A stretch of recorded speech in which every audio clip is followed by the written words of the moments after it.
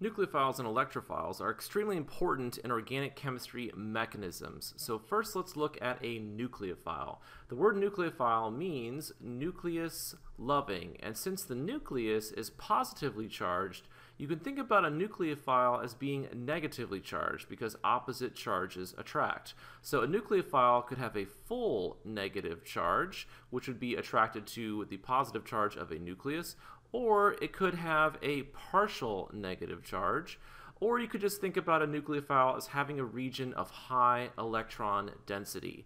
So let's look at some examples of nucleophiles. First, let's start with the ethoxide anion here. And the ethoxide anion has an oxygen with a full negative charge. So obviously that is a nucleophile, and the oxygen is the nucleophilic center of ethoxide. Next, let's look at ethanol. Well, ethanol doesn't have a full negative charge, but we know that oxygen is more electronegative than hydrogen. So oxygen is going to pull the electrons in this bond closer to itself, giving it a partial negative charge. So this oxygen is the nucleophilic center of ethanol. Now, the ethoxide anion is going to be a better nucleophile than ethanol because it has a full negative formal charge on the oxygen as opposed to only a partial negative.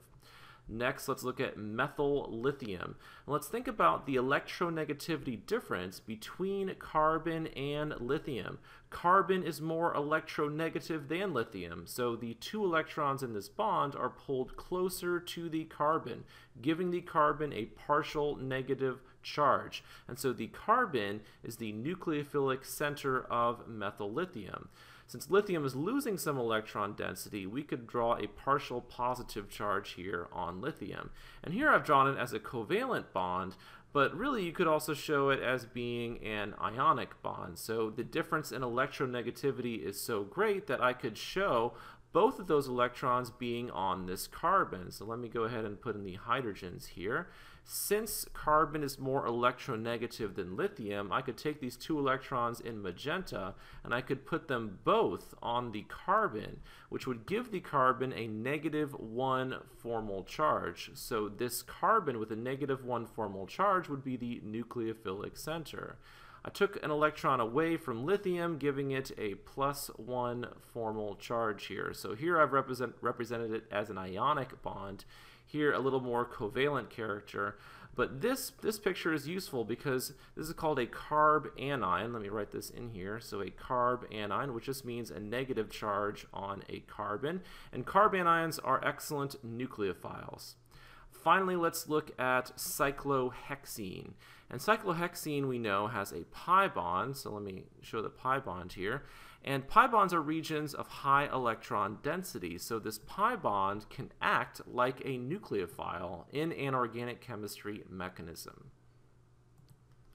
Now let's look at electrophiles. So an electrophile is electron loving. And since electrons are negatively charged, we're going to think about an electrophile as having a region of low electron density. So it could have a full positive charge on it, because a positive charge will be attracted to electrons, or you could be talking about a partial positive charge.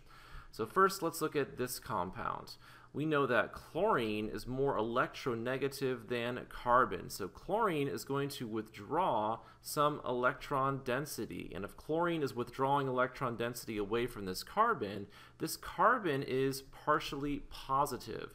So this carbon is the electrophilic center of this compound.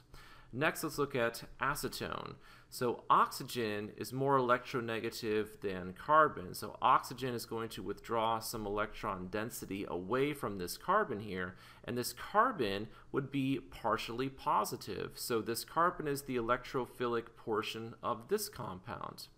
Next, let's look at a carbocation where there's a full positive charge on this carbon. So this carbon has only three bonds to it, which gives it a full positive charge. Obviously, a full positive charge is going to love electrons. Opposite charges attract. So this carbon is the electrophilic portion of this ion.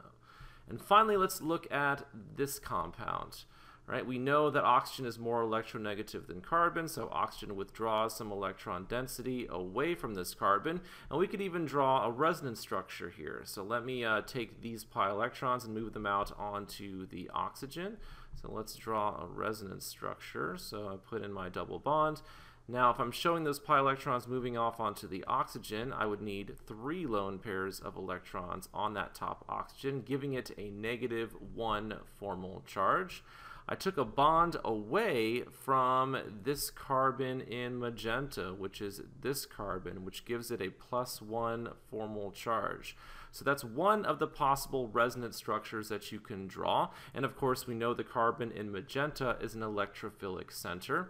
But I could draw another resonance structure here. So let me go ahead and do that. Put in my brackets over here. I could take these pi electrons, um, show it on this one actually, these pi electrons and move them over to here. So let's draw the resulting resonance structure. So I'd have a double bond here now, an oxygen with a negative one formal charge. So let me put that in here, draw in the hydrogen, put in my bracket and I removed a bond. We took a bond away from, let me use blue for this, from this carbon. So this carbon now has a plus one formal charge. So the carbon in blue is this carbon over here. So let me draw in a plus one formal charge. So that is also electrophilic, right? A full positive charge is going to be attracted to a negative charge. So this compound actually has, this compound actually has two electrophilic centers. So this carbon here and also this carbon.